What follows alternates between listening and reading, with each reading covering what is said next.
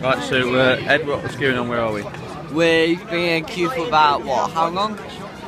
We've been in the queue now for coming up to two hours. For two hours.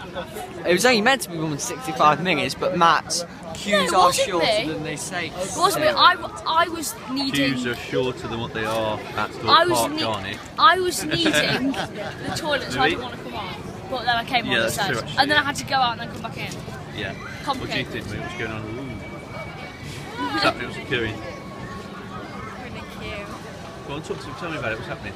Tell me about your emotions right now. What?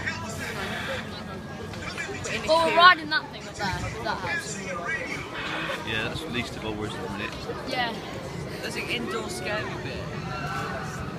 But Apparently. the thing I'm worrying about is Ed's I Spy. There's more queue inside. There's two flights of stairs. Is there? How do you know that?